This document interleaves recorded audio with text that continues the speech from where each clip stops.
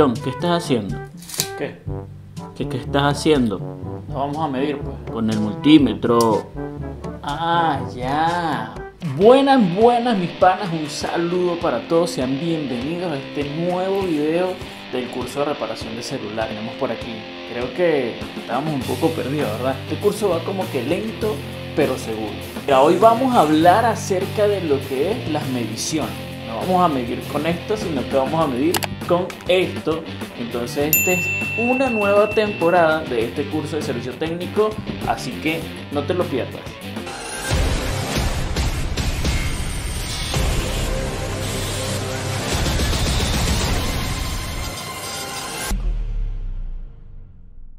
Mediciones.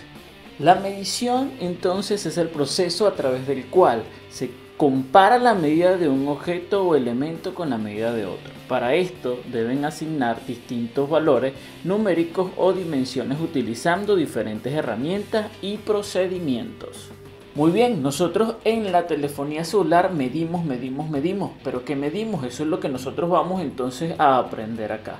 Como es un curso básico, vamos a aprender a medir cosas básicas, como por ejemplo la batería, tal vez un resistor, un capacitor, tal vez un diodo. Podemos medir ese tipo de cosas. Entonces es importante que presten mucha atención a lo que vendrá a continuación. En esta oportunidad vamos a hablar acerca del multímetro.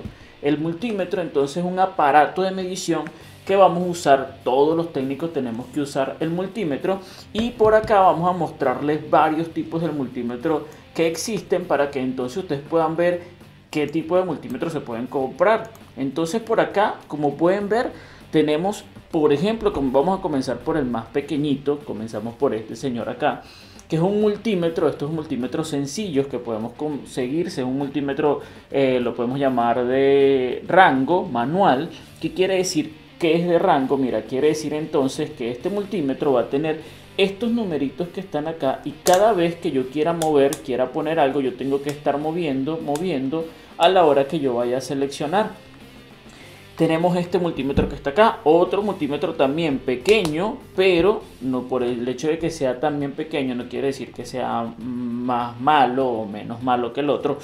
Este multímetro es un multímetro autorrango. Pueden ver acá, mira, acá hay una diferencia entre estos dos. Si ven, este tiene más números que el que tiene este.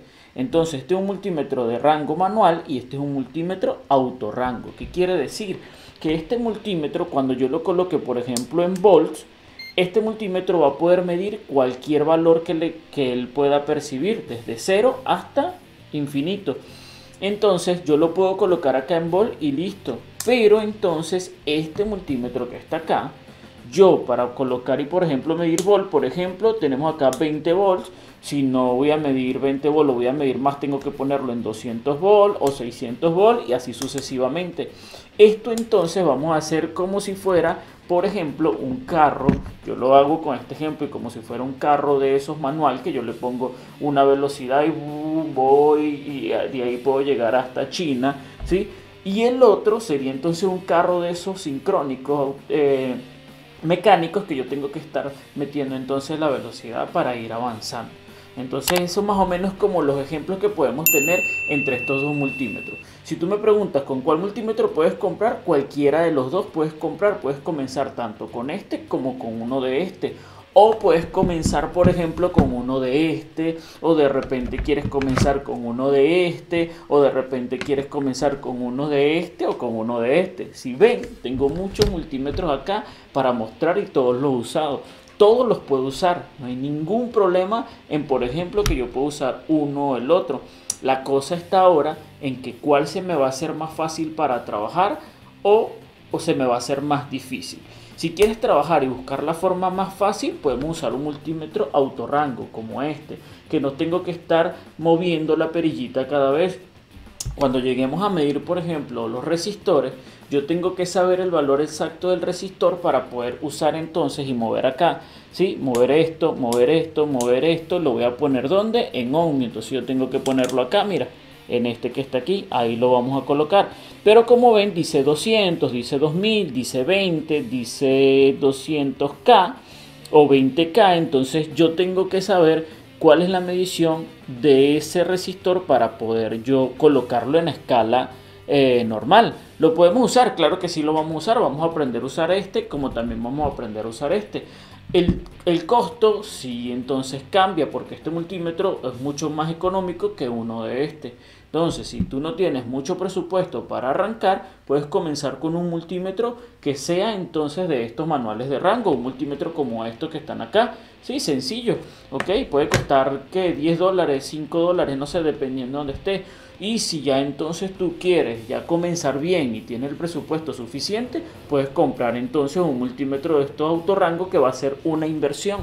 Si comienzas con este vas a invertir poco, pero después con el tiempo te vas a dar cuenta que vas a necesitar un multímetro como este. Entonces si tienes, haz una sola inversión y listo. Entonces como pueden ver tenemos varios multímetros acá.